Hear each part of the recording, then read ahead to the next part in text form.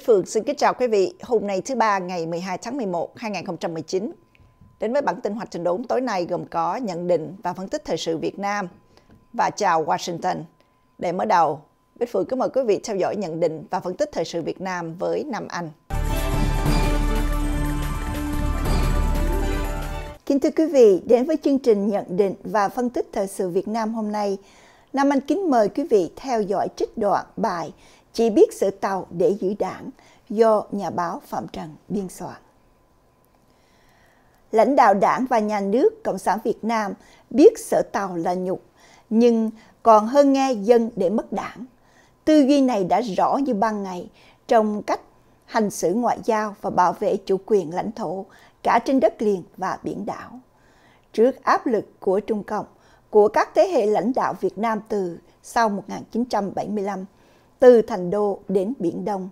đầu tiên phải kể đến cam kết Việt Nam không được nhắc lại cuộc chiến biên giới Việt Trung từ năm 1979 đến năm 1989 mỗi khi họp với phía Trung Cộng không tổ chức kỷ niệm cuộc chiến này.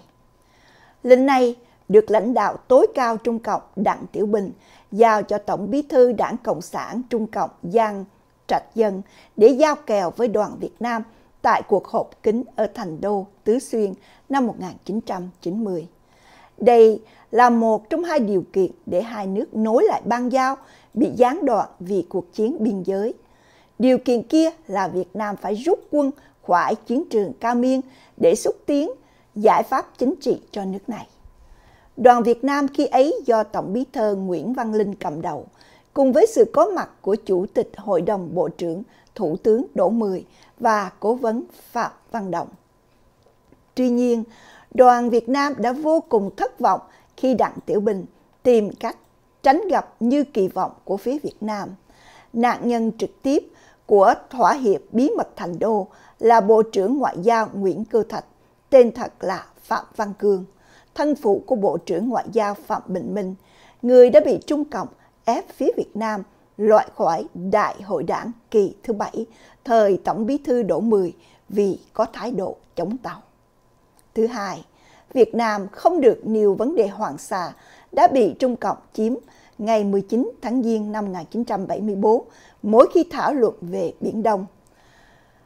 Cựu Thiếu tướng Nguyễn Trọng Vĩnh, 103 tuổi, nguyên đại sứ tại Trung Cộng từ năm 1974 đến năm 1987 là chứng nhân lịch sử của những nỗi nhục này trong quan hệ Việt Trung. Hai nguyên Tổng bí thư đảng Lê Khả Phiêu khóa 8 và Nông Đức Mạnh hai khóa 9 và 10, những người có trách nhiệm ký và thi hành ba văn kiện. Hiệp ước biên giới trên đất liền giữa Việt Nam Trung Quốc ký ngày 30 tháng 12 năm 1999 Hiệp định phân định Vịnh Bắc Bộ ký ngày 25 tháng 12 năm 2000. Hiệp định hợp tác nghề cá ở Vịnh Bắc Bộ ký ngày 25 tháng 12 năm 2000. Các ông này phải chịu chung trách nhiệm trước lịch sử cùng với Quốc hội, cơ quan để nhắm mắt phê chuẩn mà không có bất cứ một cuộc diệt xét nào hay thảo luận nào để cho những hệ lụy vẫn đang diễn ra ở Biển Đông. Thứ ba, mặc cho Việt Nam tranh cãi, nhưng lãnh đạo Trung Cộng gồm đảng, nhà nước và quân đội vẫn khẳng định các bãi đá, đảo và vùng nước chung quanh là của tổ tiên họ để lại. Thứ bốn, đảng và nhà nước Cộng sản Việt Nam cũng nói Hoàng Sa và Trường Sa là của Việt Nam nhưng lại không dám đánh hay kiện Trung Cộng ra tòa án quốc tế để thứ nhất lấy lại Hoàng Sa, thứ hai đòi bồi thường khi ngư dân Việt Nam bị tấn công nhiều khi có người chết và bị mất tài sản, bị ngăn cấm đánh bắt ở Biển Đông. Thứ ba, không dám dùng biện pháp quân sự để ngăn cản hay chống Trung Cộng đã ngang nhiên đưa tàu khảo sát dầu khí xâm nhập sâu vào thềm lục địa và vùng đặc quyền kinh tế 200 hải lý, lối 370 cây số tính từ bờ biển, như đã xảy ra trong vụ Hải Dương 981 năm 2014 từ ngày 2 tháng 5 tới ngày 16 tháng 7 năm 2014 và Hải Dương 8 từ bãi Tư Chính năm 2019 từ ngày 3 tháng 7 đến ngày 24 tháng 10 năm 2019. Trong khi đó, tam đầu chế gồm Tổng Bí thư, Chủ tịch nước Nguyễn Phú Trọng, Chủ tịch Quốc hội Nguyễn Thị Kim Ngân và Thủ tướng Chính phủ Nguyễn Xuân Phúc đã không dám chỉ trích đính danh Trung Cộng khi mà xảy ra vụ tư chính. Trong hàng bộ trưởng, duy nhất chỉ có Phó Thủ tướng, Bộ trưởng Ngoại giao Phạm Bình Minh đã công khai chỉ trích Trung Cộng một lần tại hội nghị cấp Bộ trưởng Ngoại giao ASEAN Trung Cộng lần thứ 52 ở Bangkok, Thái Lan ngày 31 tháng 7 2019. Ông Minh được trích lời đã bày tỏ quan ngại nghiêm trọng về hoạt động khảo sát của tàu thăm dò Hải Dương địa chất 8 và các tàu hộ tống của Trung Hoa ở khu vực bãi Tư Chính. Ông cũng nói với Bộ trưởng Ngoại giao Trung Cộng Vương Nghị rằng Trung Hoa đã vi phạm quyền chủ quyền và quyền tài phán của Việt Nam ở Biển Đông trong khu vực thuộc vùng đặc quyền kinh tế của Việt Nam. Tuy nhiên, sau đó, trong diễn văn ngày 28 tháng 9 2019 tại Liên Hiệp Quốc, ông Minh lại tránh nói đến Trung Cộng. Ngược lại, ông chỉ nói chung chung, vô tội vạ rằng chúng tôi kêu gọi các bên liên quan ở Biển Đông tuân thủ luật pháp quốc tế, đặc biệt là Công ước của Liên Hiệp Quốc về luật biển năm 1982. Nhưng các bên liên quan là những quốc gia nào ngoài Trung Cộng là nước duy nhất đã và đang vi phạm các quyền chủ quyền, quyền tài phán tại các vùng biển của Việt Nam.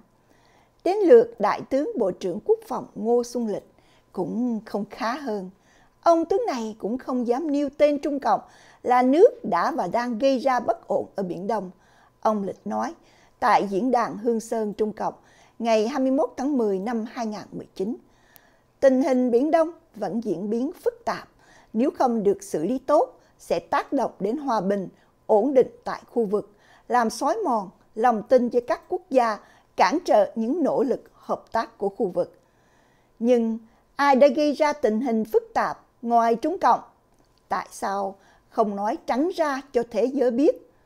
Đoàn Quốc phòng Việt Nam do tướng lịch cầm đầu đã không dám bỏ phòng họp khi Thượng tướng, Bộ trưởng Quốc phòng Trung Cộng Ngụy Phượng Hòa tuyên bố thẳng thừng trước các hội nghị rằng các đảo ở Biển Đông và quần đảo Điếu Ngư ở Biển Hoa Đông là những phần không thể tách rời của lãnh thổ Trung Quốc. Chúng tôi sẽ không cho phép, dù chỉ một tấc lãnh thổ mà tổ tiên của chúng tôi đã để lại bị lấy đi. Thủ tướng Nguyễn Xuân Phúc cũng đã có cuộc gặp với Thủ tướng Quốc vụ Viện Trung Quốc Lý Khắc Cường tại cuộc họp cấp cao của tổ chức ASEAN, Hiệp hội các nước Đông Nam Á tại Bangkok, Thái Lan ngày 3 tháng 11 năm 2019. Theo báo Chính phủ Việt Nam, trước hết ông Phúc đã khẳng định Việt Nam luôn quan trọng và mong muốn thúc đẩy quan hệ Việt Nam-Trung Quốc. Nhưng về vấn đề trên biển, ông Phúc lại đề nghị hai bên cùng kiểm soát tốt, bất đồng, không để ảnh hưởng tới quan hệ hai nước, giữ vững môi trường hòa bình, ổn định tại khu vực. Toàn là những chuyện đầu môi chót lưỡi, viễn vông, không ăn nhập gì đến những hành động ngang ngược của Hải Dương 8 mà Trung Cộng đã gây ra cho Việt Nam ở bãi Tư Chính mới chấm dứt 10 ngày trước đó, 24 tháng 10 2019. Chủ tịch Quốc hội Nguyễn Thị Kim Ngân cũng chỉ ú ớ diễn văn khai mạc Quốc hội ngày 21 tháng 10 2019, bà nói, tình hình Biển Đông thời gian gần đây có những diễn biến phức tạp, khó lường và những tác động không thuận khác đã ảnh hưởng không nhỏ đến nước ta. Vậy ai đã làm cho tình hình Biển Đông phức tạp? Chẳng lẽ ma nó làm à? Thậm chí, người đứng đầu đảng và nhà nước là ông Nguyễn Phú Trọng cũng không đã động gì đến chuyện bãi tư chính khi Hải Dương 8 vẫn đang hoàn hành trong khu vực. Trong diễn văn bế mạc Hội nghị Trung ương Đảng kỳ 11, ngày 13 tháng 10 2019, ông Trọng chỉ nói mấy chữ kiên quyết, cương trì đấu tranh, bảo vệ chủ quyền, quyền chủ quyền biển, đảo quốc gia trên cơ sở luật pháp quốc tế.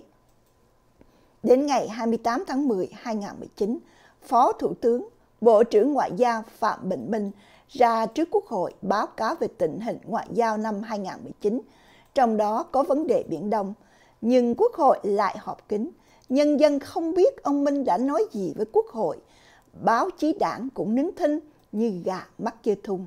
Như vậy thì còn gì trông mong ở quốc hội, cơ quan quyền lực cao nhất nước, nhưng lại là bù nhìn của Bộ Chính trị do ông Nguyễn Phú Trọng, một người thân Trung Cộng, cầm đầu.